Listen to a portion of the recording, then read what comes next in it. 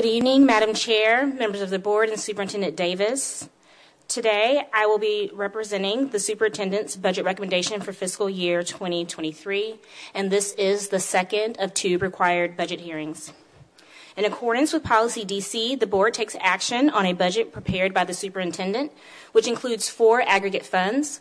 These discrete funds, which are required by governmental accounting standards, allow for the separate tracking of revenues and expenses to ensure public resources are aligned towards intended purposes. I'll quickly review these funds for information purposes. The first of the four funds is the general fund, which is the account used for our daily operations like salaries, instructional supplies, and maintenance costs.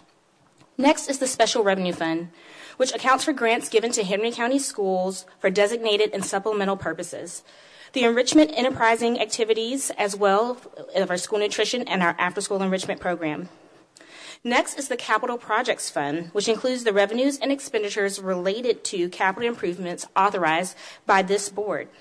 And finally, there is the Debt Service Fund, which captures revenue and expenses associated with long term debt incurred to finance capital projects.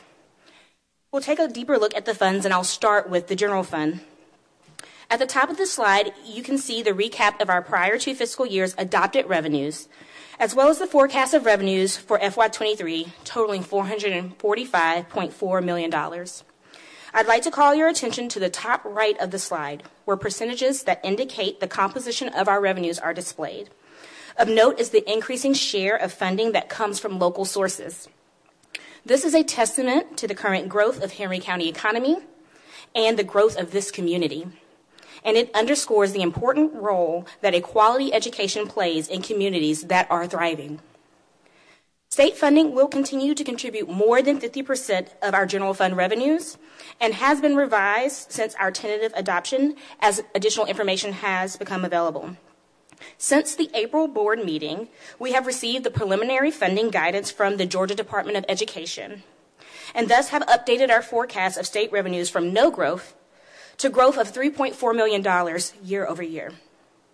As we anticipated, we saw increases in the funding related to our restoration of austerity, as well as teacher salary increases that were included in the state's 2023 budget. And we saw offsetting activity relating to an increased local 5 mill share contribution and a $10.8 million decrease in our equalization grant. However, the impacts of the salary increase enrollment growth, and local share contribution ultimately resulted in a more favorable outcome than initially forecast. Turning our attention to local revenue sources, our expectations are consistent with the forecast that was presented in last month's session. We anticipate year over year revenue growth of at least $32.5 million, assuming the final tax digest, which is available in July, provides at least a 15.5% improvement. With the availability of additional state funds, the superintendent's recommendation has been revised to make additional progress in the priorities and commitments established by the board. The final recommendation is adjusted to include $2.2 million of targeted investments in competitive compensation for maintenance and mechanic staff members, psychologists, and middle school graduation specialists Additionally, job families with a classification relationship to principals will be increased by $2,000 to maintain parity. The final recommendation has also been adjusted to respond to instructional and operational staffing needs identified through consultation with principals. An investment of $2.7 million is recommended to support 15 additional teaching positions to respond to program growth and additional staffing needs, one additional permanent substitute allotment to every elementary school for the 2023 school year, one school based monitor for every middle school, and two school based monitors for every high school.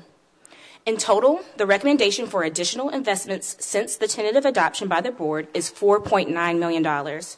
The difference between the revenue growth afforded by improved revenue outlook from the state and the proposed compensation and staff investments will be balanced through policy DCL assignment. The superintendent's recommendation for general fund expenditures for FY23 totals $446.9 million, resulting in a per student expenditure of $10,413 per student, which is an increased investment of $627 per student compared to our current fiscal year. This recommendation continues our system's persistence in putting resources close to students, with 97% of the funds aligned to teaching, learning environment maintenance, and direct student services. Finally, this budget recommendation aligns to the board's expectations of investments in competitive compensation and the strategic action plan, and I will highlight more of these details later. Turning to the other governmental funds that are requiring action tonight, there has been no change in our special revenues projection since the tentative adoption by the board. We anticipate availability of $72.7 million in funding to address the specific needs and programming required per each source of fund. Expenditures are closely aligned, totaling $72.4 million.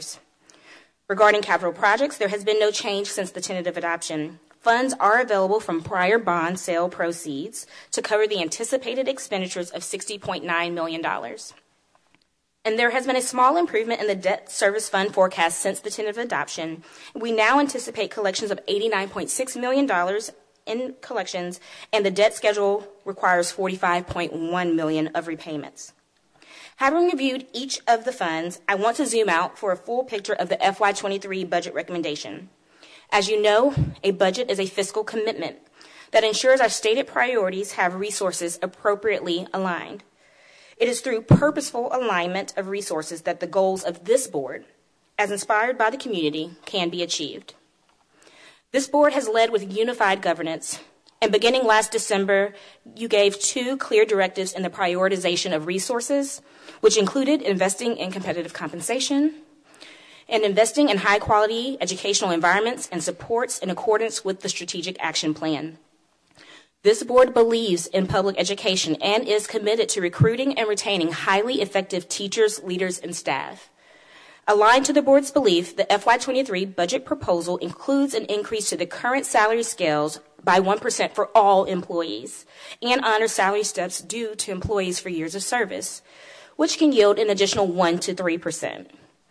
Informed by data emerging from the compensation and classification study called for by this board, the FY23 recommendation includes additional targeted investments in salaries for teachers and related job families, paraprofessionals, principals, psychologists, school and central office secretaries, and other clerical staff positions, school bookkeepers, school data clerks, nutrition staff, and maintenance and mechanic team members. The targeted investments in competitive compensation included in the FY23 recommendation is nearly $20 million and touches 90% of the full-time workforce, which is an accelerated implementation of the multi-year plan and is informed by market-based research from the compensation and classification study. The study is ongoing and every job family will be evaluated to understand competitive pay in the market. This board believes our students deserve the most effective teachers, leaders, and staff, and you have been consistent in your commitment to continue progress towards a competitive strategy for all job families. Tightly aligned to the strategic action plan adopted by the Board of Education, the recommended investments in high quality instruction and support services includes 133 school based positions, such as one teaching allotment to every school to promote the implementation of comprehensive STEM programming within each elementary school, and to provide each middle and high school with a teacher allotment to support advancement in this board's expectations around fine arts. Every elementary school will have an additional permanent substitute for the upcoming year.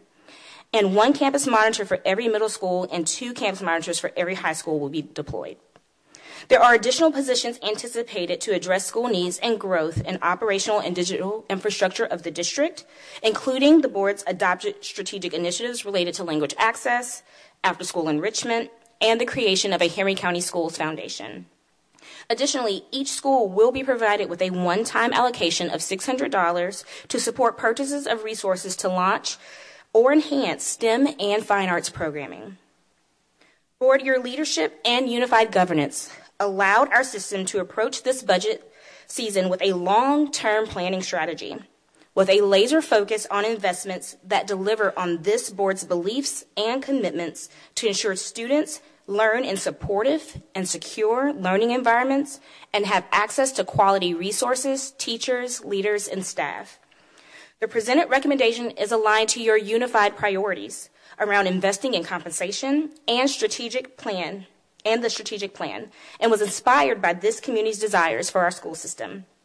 As I conclude, I would like to call attention to the budget document that is displayed on the screen, which the board will have the opportunity to take final action on at tonight's business meeting at 7 p.m.